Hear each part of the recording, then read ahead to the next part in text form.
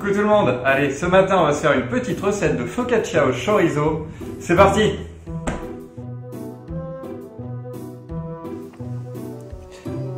Dans le bol de votre robot, émiettez la levure, incorporez l'eau tiède et mélangez.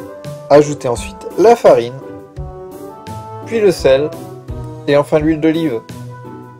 Mélangez jusqu'à ce que la pâte se décolle, environ une dizaine de minutes.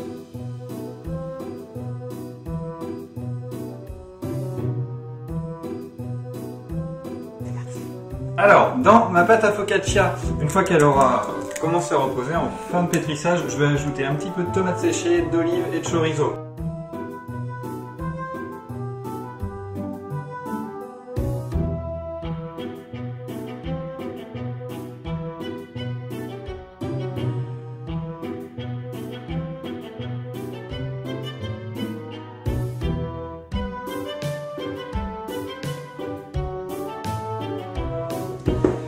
Et voilà, le pétrissage de la pâte est terminé. J'ai incorporé ma garniture, mais je vais bien la mélanger, bouler la pâte, huiler un petit peu le dessus de la pâte, filmer le saladier et laisser reposer une dizaine de minutes.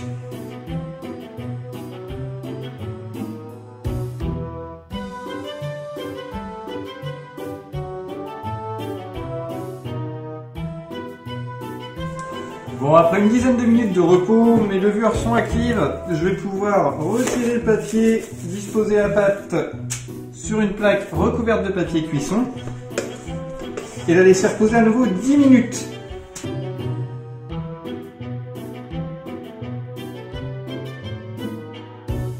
« 20 minutes que ma pâte repose, je vais pouvoir la façonner, ajouter ma petite préparation, huile d'olive et eau et enfourner.